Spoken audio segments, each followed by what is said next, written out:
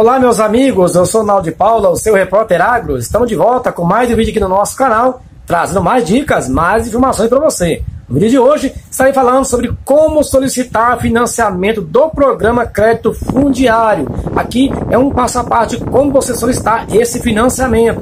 Então você quer saber desses detalhes? Confira até o final do vídeo comigo e não perca a nossa dica de hoje. Quero te convidar, claro, chegou novato, chegou novato, seja bem-vindo aqui no nosso canal, se inscreva aqui conosco, ative aqui o sino das notificações, dê o seu like, compartilhe esse vídeo na sua rede social com seus amigos. Vamos aqui mais uma informação de hoje como solicitar financiamento do programa Crédito Fundiário. Então é preciso pleitear uma linha de financiamento ao Programa Nacional de Crédito Fundiário, PNCF Terra Brasil, para comprar um imóvel rural com juro de 2,5% até 5,5% ao ano, conforme a linha de crédito disponível. Os recursos podem ainda ser usados na estruturação da propriedade e do projeto produtivo e na contratação de assistência técnica para a extensão rural. O programa do governo federal, ele contribui para a redução da pobreza rural e para a melhoria da qualidade de vida das famílias, ao facilitar o acesso à terra e ao aumento da renda.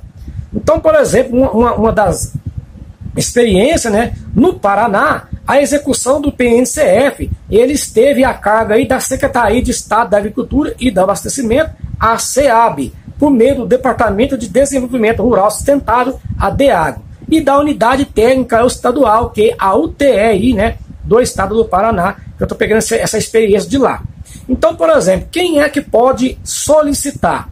São quem? Os trabalhadores rurais sem terra ou com pouca terra, pessoas que enquadram como rural, como trabalhador rural, como agricultor familiar, como filho de assentado, filho de, de proprietários rurais, né, que enquadrarem.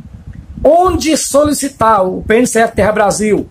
Os interessados devem buscar em seu município, né, o sindicato de trabalhadores rurais. Gente, então tem gente que está indo no sindicato rural dos fazendeiros, não é. É no sindicato do trabalhador rural, você pode procurar lá que eles podem te ajudar a encaminhar a documentação, tá?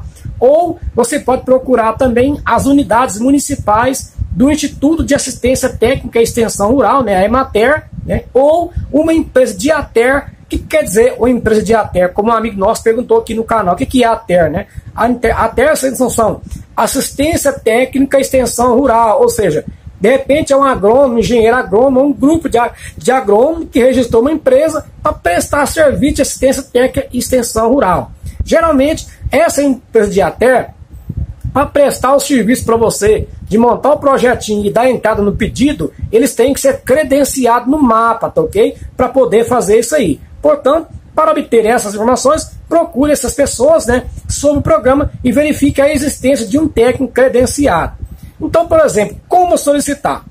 Há algumas condições para o acesso ao programa. Ter renda e patrimônio compatível com a linha de financiamento, ter experiência de 5 anos nos últimos 15 em atividade agropecuária, não pode ser funcionário público, entendeu, meus amigos? Nem ter sido assentado da reforma agrária ou ainda ter participado de algum programa que tenha recursos do fundo de terra da reforma agrária. Não ter sido também dono de imóvel rural maior que uma propriedade familiar nos últimos três anos. Agora, qual que é o prazo? A SEAB, né, ela estabelece em médio prazo de seis meses para atender às solicitações. O tempo de liberação do crédito depende da entrega de toda a documentação necessária e das etapas de seleção. Então, o que a lei diz? Né? O programa de crédito fundiário ele é regido por Lei Complementar número 93, de 4 de fevereiro de 98, Decreto número 9.263, de 10 de janeiro de 2018, Resolução número 120, de 26 de abril de 2018, e resolução número 4632, né, de 22 de fevereiro de 2018 do Banco Central. Manual de operações do Programa Nacional do Crédito Fundiário, aprovado pelo Comitê Permanente do Fundo de Terra de Reforma Agrária. E a forma de atendimento integralmente tem que ser presencial, tá ok? E quando é que custa isso aí? Gratuitamente esse serviço que você vai conseguir aí. Agora, quando você procurar uma empresa de ATER credenciada né, no mapa para prestar esse serviço técnico para os beneficiários do crédito né, fundiário, então de 174.289,41 por família, que é o teto, você vai poder usar até 8 mil reais desse valor para pagar o técnico para elaborar o seu projeto, ou seja, de acordo com a regra do crédito fundiário, esse técnico credenciado no mapa, ele vai pegar toda a sua documentação, ele vai montar o seu projeto de negócio, você vai dizer para ele lá se você vai trabalhar com gado de leite, se é, se é uma avicultura, suinocultura, se é piscicultura, o que, que é que você vai trabalhar. Ele vai montar o seu projetinho, vai elaborar seu projeto, entendeu?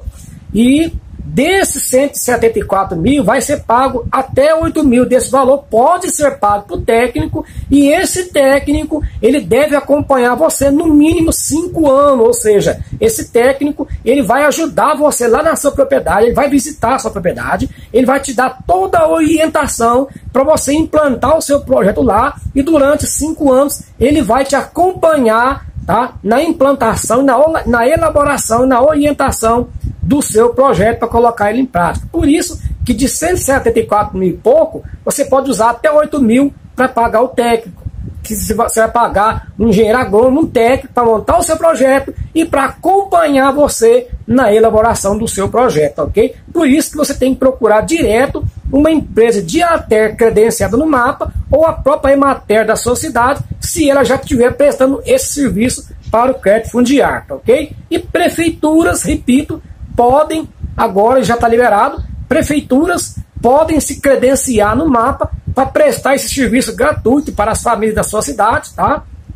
Ter os seus técnicos lá que monta todo o projeto, né? E apresenta e ajude as famílias aí a estar tá conseguindo a sua terrinha, a estar tá produzindo e, claro, o prefeito ficar aí com moral com as pessoas da sua cidade, tá ok? Então, esse foi o vídeo de hoje. Um grande abraço para você e até o próximo vídeo, se bom Deus assim permitir.